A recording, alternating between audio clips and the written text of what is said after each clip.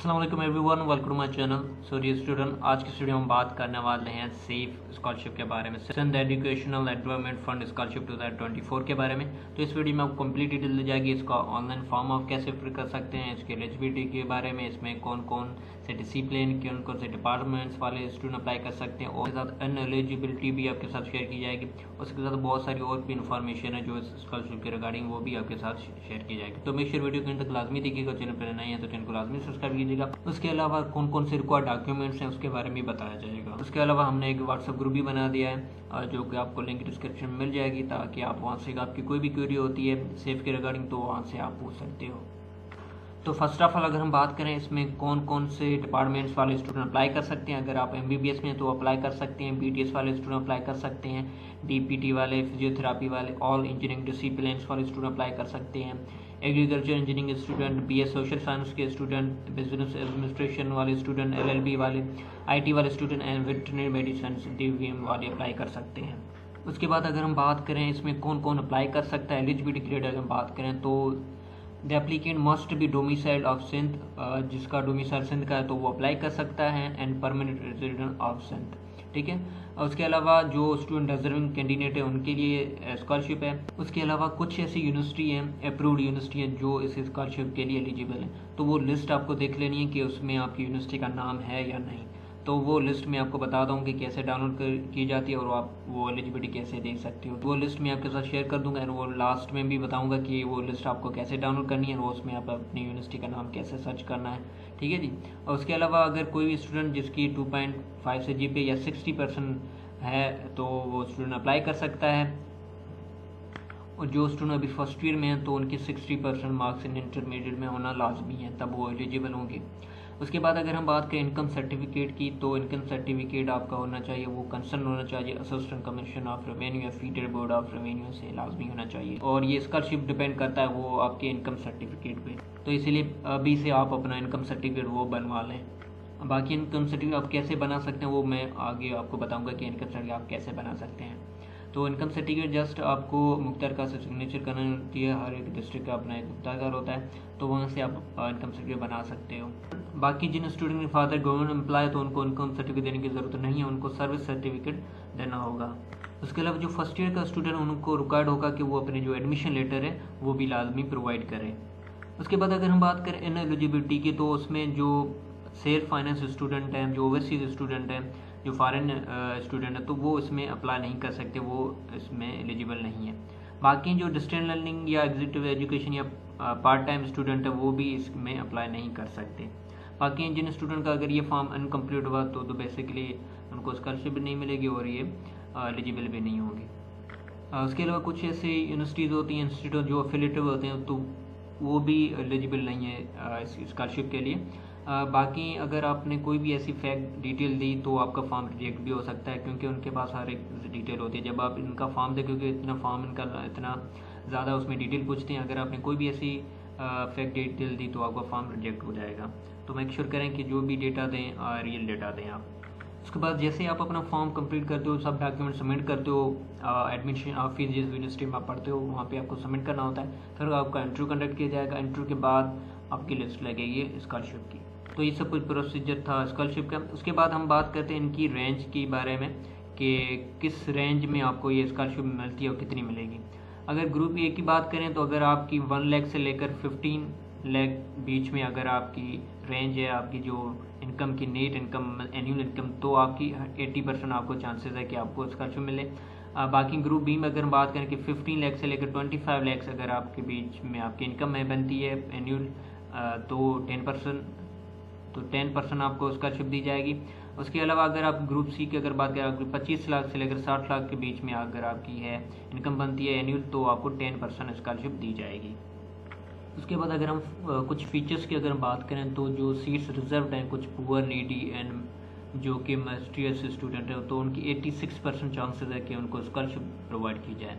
बाकी जो special seat quota या reserve for student with special needs तो उनको टू परसेंट चांसेज हैं या टू परसेंट उनको स्कॉलरशिप देने के चांसेस हैं, ठीक है? Special quota belonging to minority तो उनको भी टू परसेंट इसमें आ जाते हैं तो उनको स्कॉलरशिप दे सकते हैं। उसके बाद special quota to orphan student उनकी फाइव परसेंट चांसेज हैं कि उनको स्कॉलरशिप दें। वो seats reserve for the children of employ of government हैं तो उनको फाइव परसेंट चांसेस है कि उनको ये स्कॉलरशिप दें। तो जो कि नीडी स्टूडेंट हैं या पुअर स्टूडेंट तो उनके लिए बहुत बड़ी अपॉर्चुनिटी है कि उनको ये स्कॉलरशिप मिल जाए। तो मेक श्योर करें कि आपने जो भी इसमें डिटेल दें डेटा दें, वो ट्रू डिटेल दें, ठीक है? कोई ऐसी फैक्ट डिटेल ना दें ताकि आपका फॉर्म रिजेक्ट हो जाए। और सबसे मेन बात है कि इस फॉर्म की लास्ट डेट क्या है? तो वो थर्टी सेप्टेम्बर इसकी लास्ट डेट है। अगर इसकी डेट एक्सटेंड होती है तो उस पर वीडियो इस चैनल पर मिल जाएगा तो मेक श्योर चैनल को लास्ट में सब्सक्राइब कीजिएगा। उसके बाद अगर आपकी कोई क्यूरी होती है तो उनका कॉन्टैक्ट नंबर भी दिया गया आप इनसे पूछ सकते हैं वरना मेरे व्हाट्सएप ग्रुप को ज्वाइन करके वहाँ से भी आप पूछ सकते हो। बाकी ऑनलाइन अप्लाई कैसे कर सकते हो उनकी वेबसाइट यहाँ पे गिवन है मैं भी आपको बताता हूँ कि आप इसका ऑनलाइन फॉर्म कैसे फिल कर सकते हैं ठीक है? उससे पहले आ, कौन कौन सी यूनिवर्सिटीज़ हैं जो कि एलिजिबल हैं तो वो लिस्ट आपको नीचे यहाँ से मिल जाएगी इनकी वेबसाइट से। यहाँ पे list of approve university institute जैसे आप क्लिक करेंगे तो आपके सामने इसका इंटरफेस आ जाएगा। तो ये इनकी यूनिवर्सिटीज़ हैं। जो कि अप्रूव्ड है जिसमें सिंध यूनिवर्सिटी है आई बी यूनिवर्सिटी है ठीक है? और जना यूनिवर्सिटी है जे एस एम है डाउ यूनिवर्सिटी है एन ई डी यूनिवर्सिटी है कराची यूनिवर्सिटी है एंड शहीद मतलब बेस्ट यूनिवर्सिटी है एंड uh, उसके अलावा I university Iqra Habib university Indus I और भी बहुत सारी यूनिवर्सिटी है ठीक है? मलिर यूनिवर्सिटी कराची है और भी बहुत सारी यूनिवर्सिटी आप अपनी यूनिवर्सिटी के नाम यहाँ से सर्च करके देख के फिर अप्लाई करना ठीक है? तो अब हम आते हैं इनके जो मेन फॉर्म के बारे में कि इसका ऑनलाइन फॉर्म कैसे अप्लाई कर सकते हो। ठीक है, ये सब लिंक्स मैं आपको डिस्क्रिप्शन दे दूँगा। तो यहाँ पे लिखा हुआ है apply online for SEF scholarship तो जैसे इस पर आप क्लिक करेंगे तो आपके सामने इनका फॉर्म ओपन हो जाएगा। तो फ़र्स्ट ऑफ़ ऑल इनकी इंस्ट्रक्शन है, उसको लाजमी से आपको पढ़ लेनी है। बहुत सारे स्टूडेंट क्या करते हैं इंस्ट्रक्शन नहीं पढ़ते और फॉर्म फिल कर देते हैं, फिर उनका फॉर्म रिजेक्ट हो जाता है या उसमें कोई मिस्टेक हो जाती है। अगर फॉर्म आप फिल कर लेते हो सबमिट कर लेते हो, फिर आप उनका फॉर्म एडिट नहीं होगा। ये भी एक इंपॉर्टेंट चीज़ है। तो मेक श्योर करें कि आप अपने फॉर्म को सही से फिल करें, ठीक है?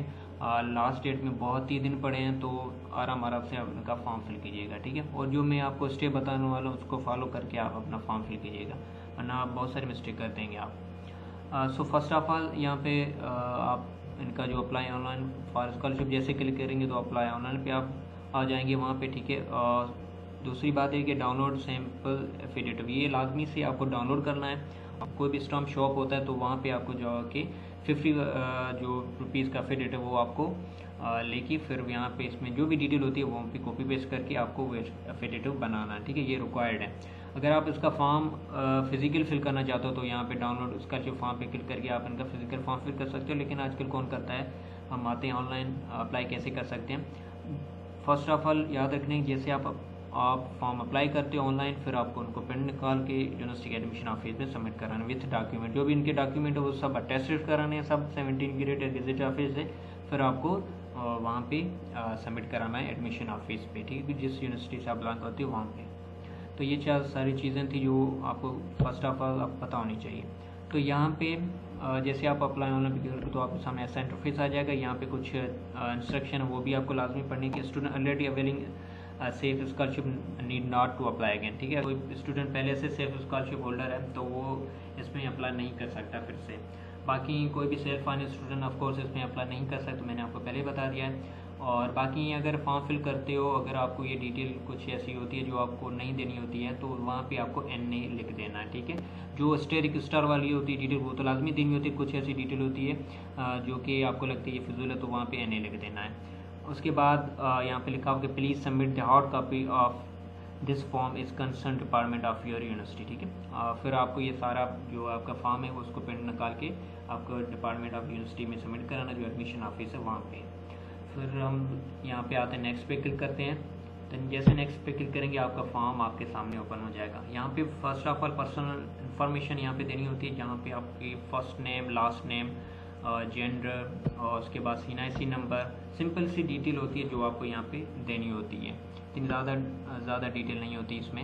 फिर फादर का नाम contact number email address district of domicile upload password size photo यहाँ पे देखिए, फिर आप नेक्स्ट कीजिएगा। तो मैंने अपने फॉर्म में जस्ट आपको समझाने के लिए एज ए डम रैंडम डिटेल दी हुई है, ठीक है? तो यहाँ पे सेकंड पार्ट में आप जैसे नेक्स्ट क्लिक करते हो तो क्या इन्फॉर्मेशन यहाँ पे सेलेक्ट अप्लाई एज पे आप जैसे क्लिक करेंगे, ठीक है? फ्रेश कैंडिडेट पे आपको क्लिक करना है। फिर डिटेल आती है यूनिवर्सिटी रजिस्ट्रेशन नंबर क्या है? यहाँ पे वो नंबर देना जो आपके एडमिट कार्ड पे लिखा हुआ है, जो रोल नंबर सीट नंबर जिसे आप लोग कहते हैं तो वो नंबर यहाँ पे देना होता है। फिर ईयर ऑफ़ एडमिशन वो आपको लिखनी है ठीक है फिर कौन से डिसिप्लिन कौन से डिपार्टमेंट में आप पढ़ते हो, वो लिख देनी, फिर यूनिवर्सिटी इंस्टीट्यूट का नाम यहाँ पे सर्च करेंगे, आ जाएगा तो वो लिख देना फिर ग्रेड सिस्टम उसके बाद अगर हम बात करें ग्रेड सिस्टम की तो यहाँ पे अगर बहुत सारी यूनिवर्सिटी में सी जी चलता है तो यहाँ पे जी पी आप सेलेक्ट कर देना और कुछ यूनिवर्सिटी में परसेंटेज चलता है तो यहाँ परसेंटेज सेलेक्ट कीजिएगा. और बहुत सारे स्टूडेंट ऐसे जो फ़र्स्ट ईयर के स्टूडेंट होते हैं तो उनको फ़र्स्ट ईयर यहाँ पे सेलेक्ट कर देना होता है. ठीक है? तो इस तरह से ये फॉर्म फिल करना है.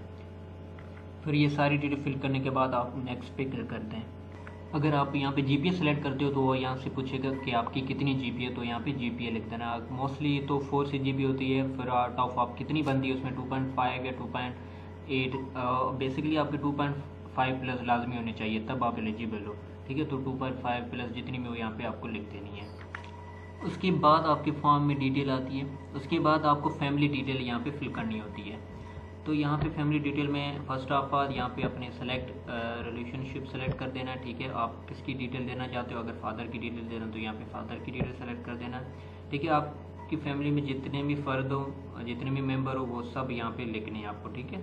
तो फ़र्स्ट ऑफ़ ऑल अगर फादर की डिटेल तो यहाँ पे उनका नाम एज लिख देनी है, ठीक है? उनकी material status of course merit and occupation फिर ऑर्गेनाइजेशन तो यहाँ पे लिख के फिर ऐड मेंबर पे क्लिक कर देना। ऐड मेंबर आप सेलेक्ट करोगे यहाँ पे मैं अगर सपोज़ करें, यहाँ पे डिटेल दे देता हूँ, कुछ ऐसे रैंडम देता हूँ, ठीक है? और यहाँ पे मैं स्टेटस ठीक है? और यहाँ पे ऑक्यूपेशन में रैंडम दे रहा हूँ सब कुछ, ठीक है? तो इस तरह से आपको अपनी, फिर ऐड मेंबर पे आपको क्लिक कर देना है।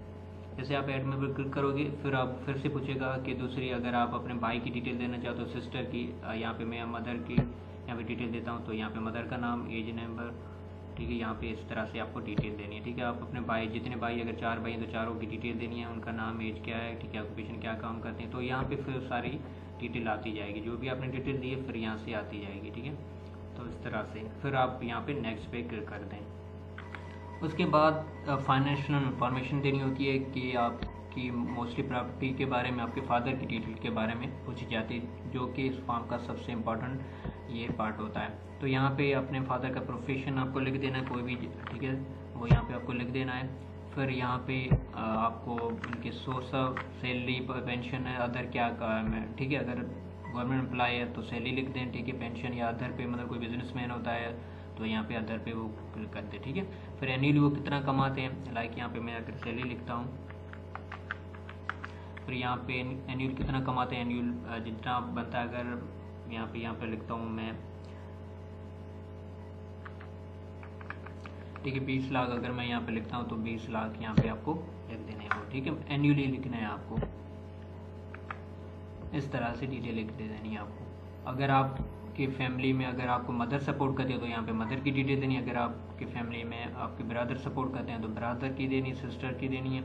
अगर आपकी फैमिली में आपको गार्डियन सपोर्ट करते हैं तो यहाँ पे गार्डियन की डिटेल देनी है। बाकी जो भी अगर मैंने, अगर सपोज़ कि मेरे फादर हैं जो कि इनकम मैंने डिटेल लिखी है बाकी जो है अगर आप नहीं लिखना चाहते तो यहाँ पे मैंने कहा था एन ए आपको लिख देना है, ठीक है? तो एन ए यहाँ पे काम आएगा। तो यहाँ पे एन ए लिख देना है आपको सब में ठीक? इस तरह से आपको अपना फॉर्म कंप्लीट फिल करना है। नीचे जैसे आएँगे, यहाँ पे सारी डिटेल वो लिखते जाना है, ठीक है? एन ए एन ए यहाँ पे लिख देना है। उसके बाद आप रेजिडेंटल एंड डिटेल में आ जाएँगे। यहाँ पे आपकी प्रॉपर्टीज़ की डिटेल पूछेंगे, ठीक है? आपके घर के बारे में कि आपका रेंटेड है या ओन्ड है, ठीक है?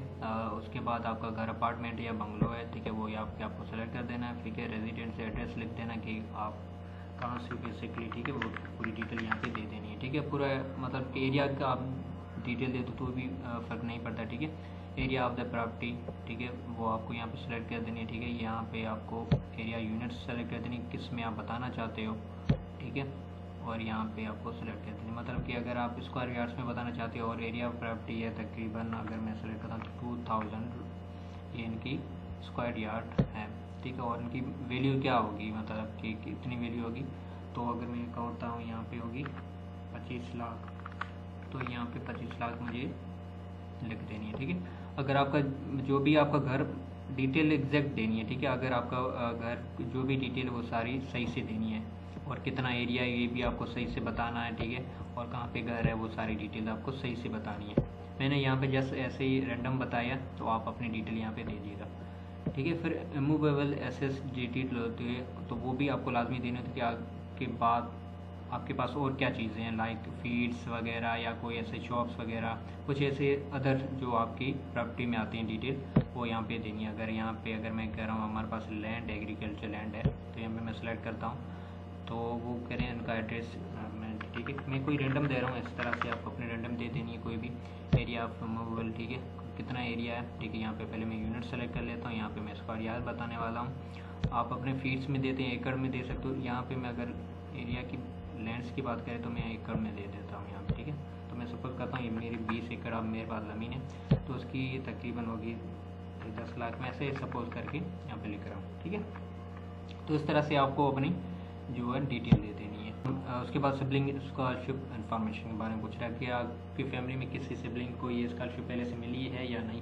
अगर मिली है तो यस पे क्लिक करके सिबलिंग का नाम रिलेशनशिप पूरी यूनिवर्सिटी का नाम लेके सब डिटेल देनी है। अगर नहीं है तो फिर नो पे क्लिक करके आप आगे मूव ऑन करते हैं। ठीक है, यहाँ पे मैं नो पे क्लिक करता हूँ, फिर यहाँ पे मैं नेक्स्ट पे क्लिक करता हूँ। तो ये सब कुछ आपके फॉर्म की सारी डिटेल यहाँ पे शो हो जाएगी। तो यहाँ पे जस्ट मैंने अपना जो भी फॉर्म रैंडम फिल किया है, ठीक है, आप अपने सही से डिटेल दीजिएगा। तो यहाँ पे सारी आपकी इनकम जो टोटल पर एनम लिखा मतलब पेयर एनुअल साल में आपका कितना इनकम बनता है, वो यहाँ पे शो हो जाएगा। फिर मैंने रेंज बताई थी उस हिसाब से देख लीजिए कि आपके कितने चांसेस बनते हैं कि आपको ये स्कॉलरशिप मिलेगी या नहीं मिलेगी, कितने पैसे उसके अलावा अगर बात करें डॉक्यूमेंट की तो यहाँ पे सारे डॉक्यूमेंट मेंशन है कि कौन कौन से डॉक्यूमेंट इसमें चाहिए। सब आपको अटेस्टेड डॉक्यूमेंट कराने सब रिकॉर्ड डॉक्यूमेंट है ये, ठीक है? तो ये सब आपको जब अपना फॉर्म इसको पेन निकाल के, ये सब डॉक्यूमेंट अटैच करके एक फोल्डर बना के मतलब फ़ाइल होता है, उसमें सब डाल के आपको एडमिशन ऑफ़िस देना होता है। तो उसमें कौन कौन से डॉक्यूमेंट है? First of all student identity card होता है, जो फ़ी रेसिपिट होती है यूनिवर्सिटी की जो आप जो पेड करते हो लास्ट पेड वो देनी है। फिर स्टूडेंट परमानेंट एड्रेस वो मतलब आपका वो हो जाता है, ठीक है? जो मिसाल हो जाता है, वो वो देनी होती है आपको। फिर मार्कशीट आपको देनी होती है आपकी, फिर ओरिजिनल सैलरी स्लिप फादर की वो देनी होती है अगर गवर्नमेंट या सेमी गवर्नमेंट या प्राइवेट ऑर्गेनाइजेशन में काम करते हैं वो, ठीक है? फिर original affidavit R S fifty stamp paper तो ये आपको मैंने बताया था, कोई भी स्टाम्प पेपर शॉप पे आप जाओगे तो वहाँ पे आप बोलेंगे फिफ्टी परसेंट का स्टाम्प पेपर जो आपको एफिडेड मैंने कहा था डाउनलोड बोलने के लिए। तो वो डाउनलोड करके फिर वहाँ पे कॉपी पेस्ट कर देना, वो आपको फिफ्टी रुपीज़ का स्टैम्प पेपर बना के दे देगा, ठीक है? फिर वो भी अटेस्ट लाजमी कराना है। सब डॉक्यूमेंट आपको अटेस्ट लाजमी कराने हैं, ठीक है? और जो भी सेवनटीन ग्रेड का ऑफिसर होगा, उससे।